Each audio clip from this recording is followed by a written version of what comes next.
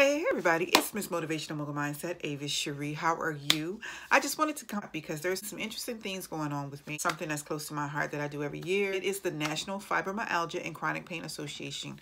I'm an ambassador for that association. And this year I have been working with my doctors, um, inquiring about studies, um, researching some things that are helping move towards something that can help aid in um, chronic pain sufferers specifically in my case, fibromyalgia and migraines. So as a part of that, I have decided to bring you into my life behind the scenes, behind the author, behind the servant, and give you a glimpse on a new playlist I'm launching um, this month for my YouTube channel, Avis Cherie.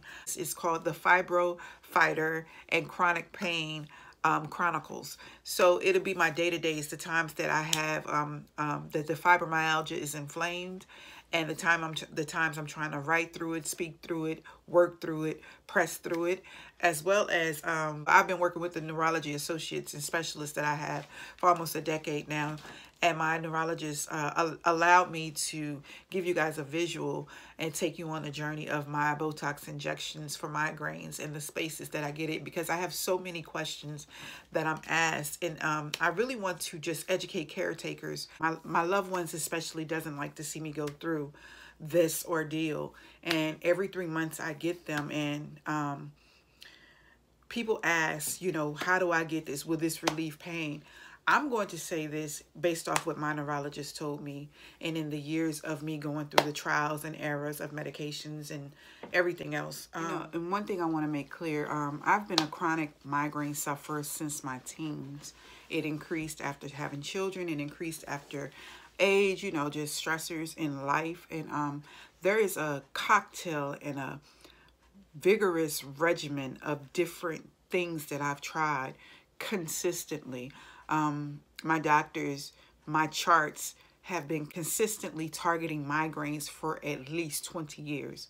So um, Botox became an option a few years ago and I was very hesitant. I had to get approved for it because FDA had just cleared it. It and your insurance has to approve you. And as far as my knowledge at the time, um, there had to be a strenuous history of other methods to try to treat not cure, but treat the migraine because with, with a lot of chronic pain and a lot of disorders like fibromyalgia, there's no cure.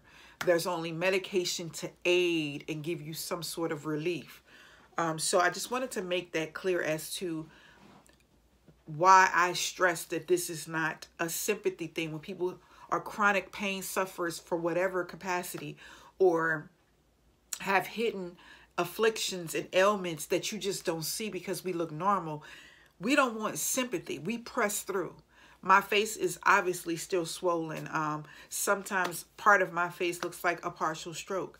Um, you don't know why because I'll come in and I'll do what I have to do and keep it moving because I have to live through it. And um, there's no warning for fibromyalgia. There's no warning for getting the onset of my migraines because they're constant. They're, they're typically always lurking. Um, fibromyalgia, my body's inflamed from head to toe. It's a very brutal and very painful disease to have. So I have to live through it and jump over hurdles the days that I don't, the days that I'm smooth, the days that I'm feeling free, the days that I'm chilling. I have to be twice, if not three times as productive for the amount of days that these things lay me down flat on my back. And I have a lot of those days that I'm flat on my back and there's nothing you can do. You're immobile. You try to push yourself, but the more you twist your body, try to use and exert every piece of your energy, you're going to pay for that some sort, especially with fibromyalgia. If I twist and turn my body and keep trying to get to that goal and that mark and just ignore the pain that I'm obviously in or the warnings that I'm obviously in, what will happen is it will lay me down for almost a week. So I'm going to take you on a journey of those types of things, the times that I have flare-ups in both my fibromyalgia and my migraines attacking me, as well as it impacting my speech, my cognitive, my um, mobility, um, it, it, affects your memory. It Both of these things affects and weighs on everything else that you do. So um, I figured that this playlist would help educate because I'm always speaking and promoting and cheerleading and rallying around people and supporting people that suffers from different chronic pain, affliction, and also fibromyalgia. But now um, this year it was placed on my heart my spirit just said, you know what, be your own spokeswoman. The things that you go through as you're trying to write book two, as you're a contributor for different editorials, as you're doing speaking engagements, as you are being a woman, a mother, a wife, a daughter, all of these things, you know. So sometimes we just have to say, we are our best advertisement. We are our best self, being our most truthful and authentic self. I did a uh, part one and part two of why I'm doing it on my YouTube page under that playlist. And then I will give you a glimpse to um, the actual injections the other day and the turnaround time. And then I'll start to just, sort of like me giving a visual diary to my day to day. Um, I won't be doing it every day, but on an as needed basis of what I feel I should share of myself because you know, people get ignorant. People can be cruel. People can be very brutal. Use discernment with what you share with people and how much and how immature some people are and understand that this is my truth. This is my walk. It's not a sympathy walk. It's actually a victory lap because again, I don't play with people playing with me. I take everything serious about others and as well I take everything serious about myself. So get into it. I hope you educate yourself. I hope you educate others. And if you're going through this, I hope you chime in with me. Um, email me at evolution at avacherie.me or avacherie at gmail.com. And we can bring together a pool of resources for one another, support group for one another, let one another know what's going on in the communities around us. And we can just share our journey to open up the mindsets of people, the caregivers, the loved ones, the doctors. You know, I talk to my doctors. One of my doctors, my rheumatologist, I can't wait for him to allow me to video or share his input and his, uh, oh my God, his expertise and knowledge. He's, he's invaluable.